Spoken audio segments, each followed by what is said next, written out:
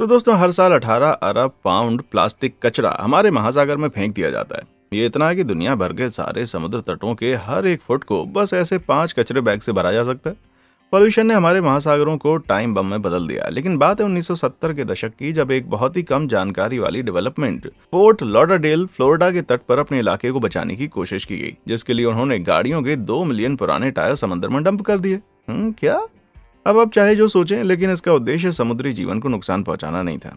अरे नहीं नहीं, वे तो मदद करना चाहते थे और परिणाम आपको हैरान कर सकता है। इसलिए ये जानने के लिए वीडियो के अंत तक जुड़े रहिए कि आखिर 20 लाख टायर समुद्र के अंदर क्यों समा गए।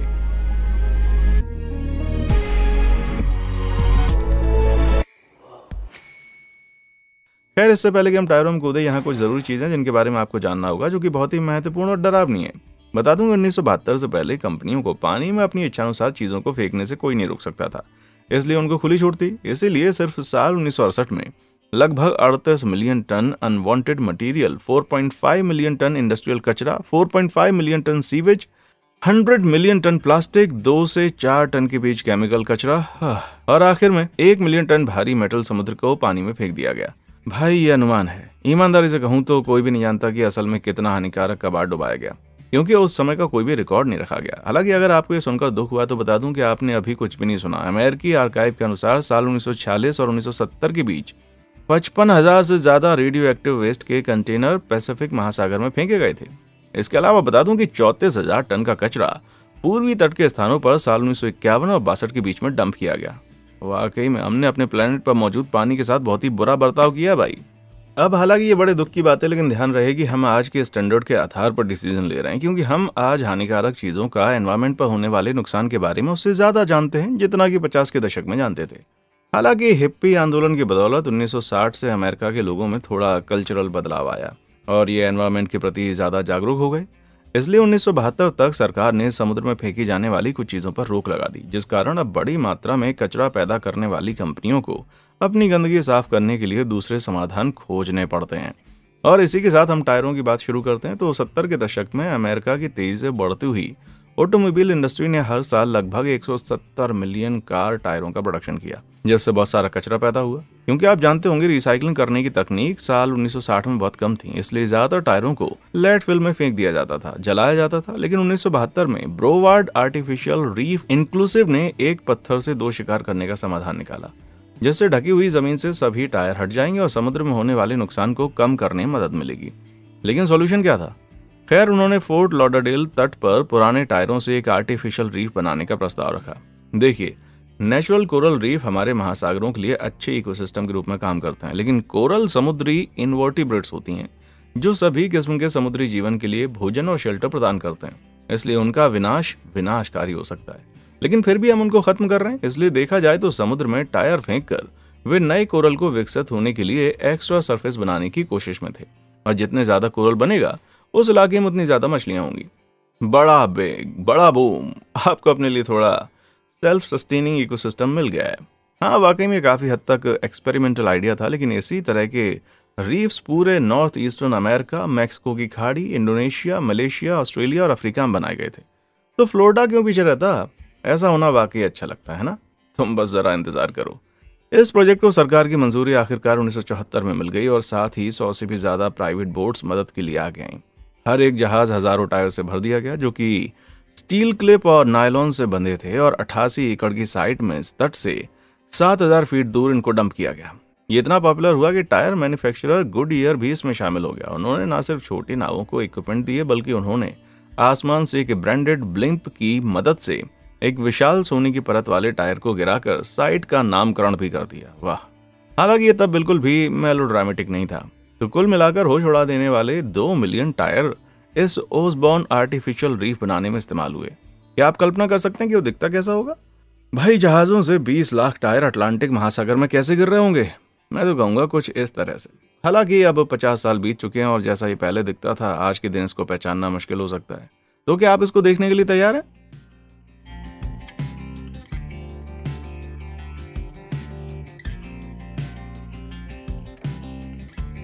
भाई, मुझे लगता है कि मेरे से कोई गलती हो गई है। शायद मैंने गलत क्लिप दिखा दी है। आइए फिर से कोशिश करते हैं।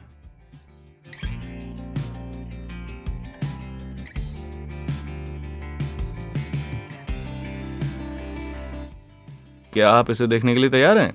Play clip? अरे, वो रीफ कहाँ है? वे सारे कोरल और मछलियाँ भी कहाँ हैं? खैर, यहाँ ऐसा कुछ भी नहीं है। बता दूँ, बेहतरीन इरादों बड़े परिणामों की आशा होने के बावजूद ओसबोर्न आर्टिफिशियल रीफ बस एक विफलता बन के रह गई। याद है ना, मैंने पहले कहा था कि टायर के बंडल स्टील क्लिप और नायलॉन से बंधे हुए थे। किसी ने भी ऐसा कुछ नहीं सोचा कि स्टील में जंग भी लग सकती है। देखिए, ज़्यादातर मेटल में वातावरण की नमी के कारण जंग लग जाती है, और क्योंकि स्टील में लोहा होता है, और ये नमी हाइड्रेटेड आयरन ऑक्साइड बनाने के लिए लोहे से इलेक्ट्रॉन्स को हटा देती है, जिससे लाल भूरा जंग पैदा हो जाता है, और जब खारे पानी की बात आती है तो ये पाँच गुना तेज़ी से होता है। क्योंकि खारे इलेक्ट्रोलाइट्स ताजे पानी की तुलना में बेहतर बिजली कंडक्ट करते हैं। साथ ही क्योंकि जंग इलेक्ट्रॉन्स की मूवमेंट के कारण पैदा होती है, इसलिए जितनी तेज़ी से ये इलेक्ट्रॉन मूव होते हैं, उतनी तेज़ी से मेटल टूटता है। समझे? बहुत बढ़िया। आमतौर पर समुद्र में स्टील बड़े बू के बराबर होता है। और मैं ये सब हल्के में नहीं कह रहा भाई। टायरों को पानी में इकट्ठा करने के कुछ ही समय के बाद उनकी स्टील बाइंडिंग टूट गई थी, जिससे ये सारे दो मिलियन टायर ढीले होकर बिखर गए। अब क्योंकि फ्लोरिडा खराब मौसम के लिए बहुत ही नाजुक है इसलिए हर साल समुद्र में तूफ़ान आने से पानी में तेज लहरें पैदा होती रहती हैं, जिन्होंने पहले से मौजूद नेचुरल रीफ को नष्ट कर दिया, इसलिए जहाँ जो कुछ भी था, वो पूरी तरह खत्म हो गया। मतलब नई रीफ बनाने के बजाय ये टायर पुराने रीफ्स को भी नष्ट कर रहे थे, लेकिन यहाँ नुकसान सिर्फ़ आसपास के एनवायरमेंट तक सीमित नहीं रहा। नहीं, साल उन्नीस सौ पंचानवे में तूफ़ान ओपल ने गल्फ तट को तोड़ दिया और एक हज़ार से ज़्यादा टायरों को फ्लोरिडा के पेन हैंडल में पहुँचा दिया। और फिर उन्नीस के तूफ़ान बोनी ने हज़ारों टायरों को कैरोलिना के उत्तरी समुद्री तटों पर बिखेर दिया। भाई, ये सरासर एक गलती थी। लेकिन इतना ही नहीं, क्या आपने कभी ये कहावत सुनी है कि एक लुढ़कते पत्थर को कोई इकट्ठा नहीं करता? खैर, चलते टायरों से भी रीफ नहीं उगते। और इन टायरों ने न सिर्फ़ मौजूद रीफ को नष्ट किया, बल्कि वे कुछ नया विकसित करने में सफल रहे। कोरल को अच्छे से विकसित होने के लिए मज़बूत वाइल्ड लाइफ आबादी के साथ स्वस्थ गर्म पानी की ज़रूरत होती है। और ये अब तो बिल्कुल नहीं उगने वाले थे, क्योंकि ये टायर तो उत्तरी कैरोलिना में 900 मील की दूरी तय कर चुके थे ना? लेकिन हमें फ़िलहाल पूरी तरह बहकावे में नहीं आना चाहिए, क्योंकि अच्छी खबर यह है कि हो सकता है कि ओसबोन रीफ के लिए बिल्कुल सब कुछ विनाशकारी और निराशाजनक ना हो। हालाँकि इससे पहले कि हम इस पर चर्चा करें, अगर आप इस वीडियो का आनंद ले रहे हैं तो लाइक और सब्सक्राइब बटन पर थोड़ा प्यार दिखाएँ। ऐसा करने से हमारे चैनल को सपोर्ट मिलेगी और आपको मेरे द्वारा बनाए गए सभी वीडियोस का अपडेट मिलता रहेगा। चलिए अब इस पर वापस आते हैं। कहाँ थे हम? तो अब साल 2001 में नोवा साउथ ईस्टर्न यूनिवर्सिटी के प्रोफेसर्स को रीफ क्लीन अप ऑपरेशन शुरू करने के लिए तीस हज़ार डॉलर का ग्रांट मिल गया। उस पैसे से वे डाइवर्स को पानी के नीचे भेजने और 1600 ढीले टायर इकट्ठा करने में कामयाब रहे। मुझे पता है कि इस बात का यहाँ कोई मतलब नहीं है, लेकिन कम से कम ये कुछ तो है, क्योंकि ऑपरेशन से पहले के तीस सालों में हर किसी ने बस दिखावा किया कि वहाँ कुछ था ही नहीं। इसलिए एक नाव, एक क्रू और डाइवर्स को काम पर रखने और प्रॉपर ऑथोराइजेशन हासिल करने के बाद 1600 टायरों में से हर एक को निकालने की लागत लगभग 17 डॉलर आई, जो कि बहुत महँगा है। और बता दूँ कि पूरे रीफ को अच्छे से साफ़ करने के लिए अनुमानित कीमत 40 मिलियन डॉलर से 100 मिलियन डॉलर के बीच में थी। बाप रे। इसलिए अब ज़ाहिर है कि काम रुक गया, लेकिन फिर 2007 में रीफ की सफ़ाई फिर से शुरू की गई, जब सेना ने आसपास के इलाके को रियल वर्ल्ड ट्रेनिंग सुविधा के रूप में इस्तेमाल करने का फैसला किया। और सिर्फ़ उस साल वे सेना के अभ्यास के दौरान लगभग दस हज़ार टायर तट पर लाने में सफल रहे, जिसके बाद फ्लोरिडा सरकार मदद करने के लिए आगे आई और दो मिलियन डॉलर्स दे करके टायरों को किनारे पर लाने के बाद ट्रांसपोर्ट और डिस्पोज कर दिया गया। और साल 2009 तक इस समस्या को खत्म करने के लिए सैकड़ों हज़ारों डॉलर खर्च किए गए, जिसके बाद कुल बहत्तर हज़ार टायर निकालने में सफलता मिली। बहुत अच्छा। लेकिन फिर मिलिट्री ऑपरेशन बंद हो गया। और आज भी पंचानवे प्रतिशत से ज़्यादा टायर अछूत पड़े हुए हैं। हम्म। हालाँकि मैंने कहा था कि ये सब विनाशकारी और निराशाजनक नहीं था, है ना? खैर 2016 में और 2019 के बीच इंडस्ट्रियल डाइवर्स कॉर्पोरेशन के साथ 4.3 मिलियन का एक और कॉन्ट्रैक्ट निकाला गया और आखिरकार साइट पर कुछ प्रोग्रेस होनी शुरू हुई। अपना पूरा ज़ोर लगाने के बाद आईडीसी एक हफ़्ते में 2000 से 5000 टायर हटा रही थी और इसकी बदौलत उन्होंने कुल मिलाकर ढाई लाख टायर जमा कर लिए। हालाँकि उनकी इस बड़ी सफलता के बावजूद भी टायरों का लगभग दो तिहाई हिस्सा अभी भी समुद्र में मौजूद था। और जैसा कि आप देख सकते हैं कि इसकी वजह से फ्लोरिडियन सरकार को ढेर सारा पैसा खर्च करना पड़ा, लेकिन फिर एक बहुत ही सस्ता समाधान निकलकर सामने आया। साल 2021 में एक नया दावेदार मैदान में उतरा, जब एक प्राइवेट कंपनी फोर ओशन ने घोषणा करके बताया कि वे ओरिजिनल ड्रॉप साइट से चौतीस एकड़ उत्तरी इलाके में टायर रिट्रीव करेंगे और इस ऑपरेशन में उन्हें जितने फंड की ज़रूरत पड़ेगी वो टायरों से बने हुए उनतीस डॉलर के कंगन बेचकर हासिल करेंगे। चार ओशन की वेबसाइट के अनुसार उनके द्वारा बेचे जाने वाले हर कंगन से पाँच पाउंड समुद्री कचरा हटा दिया जाता है। बहुत बढ़िया, और उन्होंने अच्छी खासी प्रोग्रेस दिखाई। साल 2022 में उनके द्वारा लगाए गए अनुमान कहते हैं कि सिर्फ़ पाँच लाख टायर या सिर्फ़ 25 परसेंट टायर या पानी के अंदर बचे ये वाकई में काबिल तारीफ़ है। लेकिन यहीं से कहानी एक और दिलचस्प मोड़ लेती है। क्या आपको याद है, मैंने पहले कहा था कि जब पहली बार समंदर में सफ़ाई का नोवा साउथ ईस्टर्न यूनिवर्सिटी द्वारा शुरू किया गया था, तब हर एक टायर के लिए सत्रह डॉलर लागत लगती थी, ठीक है? तो मैंने यहाँ कुछ कैलकुलेशन की हैं। लेकिन हो सकता है कि हंड्रेड परसेंट सटीक ना हो, लेकिन फिर भी औसतन एक कार टायर का वज़न लगभग पच्चीस पाउंड होता है। तो उनतीस डॉलर का एक ब्रेसलेट प्रति पाँच पाउंड को हटाने की कीमत को आश्चर्यजनक रूप से 145 डॉलर तक बढ़ा देता है, जो कि वाकई में रुला देने वाला है, क्योंकि ये पहले के सफ़ाई अभियान से साढ़े आठ गुना ज़्यादा है। अब इससे पहले कि आपका दिमाग खराब होना शुरू हो जाए, मुझे कुछ चीज़ें क्लियर करनी है। बता दूँ कि पहला सफ़ाई अभियान 20 साल पहले चलाया गया था और तब से लेकर अब तक हर एक चीज़ की कीमत बढ़ गई है। दूसरी बात फोर ओशन कोई चैरिटी नहीं कर रही। ज़ाहिर है कि वो एक फ़ायदा उठाने वाली कंपनी है और उन्हें अपने बिज़नेस में खर्चे भी तो करने होते हैं, जिन्हें कवर करने के लिए यूनिवर्सिटी के प्रोफेसर पीछे नहीं रहने वाले। लेकिन साढ़े आठ गुना ज़्यादा? ये वाकई दूसरों की तुलना में बहुत ज़्यादा प्रोग्रेस कर रहे हैं। लेकिन मुझे ऐसा लगता है कि ऐसा करते हुए वो बहुत ज़्यादा पैसा उड़ाकर ले जा रहे हैं। अब यहाँ मुझे आपकी मदद चाहिए। क्या हम उन कंपनियों के बारे में अनुमान लगा सकते हैं कि वे एनवायरमेंट पर पॉजिटिव प्रभाव डाल रही हैं? क्योंकि वे पैसा कमा रही हैं हुँ? या समस्या से मैं आपका ध्यान भटका रहा हूँ? भाई, इस समस्या को पैदा करने वालों को इसे साफ़ करने के लिए जिम्मेदार क्यों नहीं ठहराया गया? वे गुडियर याद है ना? वही टायर मैन्युफैक्चरर जो सबसे पहले टायरों को डंप करने के लिए मुफ़्त में इक्विपमेंट दे रहे थे। पर उनको कौन भूल सकता है जिन्होंने एक विशाल सोने का टायर इस अच्छे काम के लिए पानी में डंप किया? लेकिन फिर भी अपने इस घिनौने मामले को आसानी से भूल गए। भाई, आप मुझसे पूछिए। वे अपने सभी गुडिया ब्रांडेड टायरों को लैंडफिल से निकालकर समुद्र में डूबने पर बहुत ज़्यादा खुश थे। लैंडफिल सिर्फ़ आँखों के लिए खतरनाक नहीं है, वे खराब पीआर भी हैं। लेकिन ओसबॉर्न रीफ समुद्र में तैरता हुआ कोई विशाल आइलैंड नहीं है, जिसे हर कोई देख सके। हालाँकि ये किसी को तैरने से नहीं रोक रहा, लेकिन इससे होने वाला नुकसान तो नीचे छिपा हुआ है। यहाँ आँखों से दूर है और दिमाग से बाहर भी है। हालाँकि मुझे किसी चीज़ का डर नहीं है, लेकिन मेरी बात सुनो, संभावना है, काफ़ी ज़्यादा संभावना कि गड़बड़ी करने वाले अपनी समस्या को ठीक करने के लिए बड़ी रकम जुटा सकते हैं। अगर वो पहले से तैयार नहीं थे, फिर भी वे खुद के फैलाए हुए कचरे को साफ़ करके पैसा कमा सकते हैं। भाई, आज के समय में हम एक ऐसे सिस्टम के साथ जी रहे हैं जो कि प्रदूषण को बढ़ावा देता है, क्योंकि इसे ठीक करने की कीमत बहुत ज़्यादा है। मैं ये नहीं कह रहा हूँ कि फोर ओशन यही कर रहे हैं। मुझे सच में लगता है कि उनका उद्देश्य अच्छा है, लेकिन मैं ये भी नहीं कह रहा कि ऐसा नहीं हो सकता। और ये बात वाकई में डरा देने वाली है। भाई, इसे समझ पाना बहुत ही मुश्किल है। अगर आपको कुछ भी समझ में आया जो मुझे समझने में मदद कर सकता है तो मुझे कमेंट सेक्शन में आकर बताना। अफसोस की बात यह है कि ओसबॉर्न रीफ ही एकमात्र असफल टायर रीफ प्रोजेक्ट नहीं था। फ्रांस में भी यही मामला 1980 के दशक में सामने आया था। कहा जाता है कि फ्रेंच रिवेरा के अधिकारियों ने लगभग 25,000 टायर्स तट से 1600 फीट की दूरी पर कांस और एंटी बेस के बीच डुबा दिए। उनका मानना भी यही था कि टायर एक जगह पर रहेंगे और नेचुरल हैबिटेट को कोई नुकसान नहीं होगा। लेकिन फिर साल 2005 में रिसर्चर्स ने पाया कि टायर शुरू से ही पानी में केमिकल और भारी मेटल को छोड़ रहे थे। हालाँकि ये मिनरल्स इकोसिस्टम के फ़ंक्शन के लिए भी ज़रूरी है, लेकिन ज़्यादा मात्रा वाइल्ड लाइफ के विकास पर बुरा असर डाल सकती है, या इससे भी बदतर। इसे पूरी तरह से खत्म कर सकती है। हालाँकि इस बात पर जल्दी कार्रवाई करने के लिए धन्यवाद कि जल्द ही ज़्यादातर टायर एक सफ़ाई अभियान के द्वारा निकाल लिए गए, जो कि फ्रेंच स्टेट और टायर मैन्युफैक्चरर मिचलिन ने शुरू किया था। कुल मिलाकर इस अभियान की लागत एक दशमलव एक मिलियन डॉलर से थोड़ी ज़्यादा थी, या लगभग चवालीस डॉलर प्रति टायर थी, जो कि फोर ओशन से काफ़ी सस्ती है।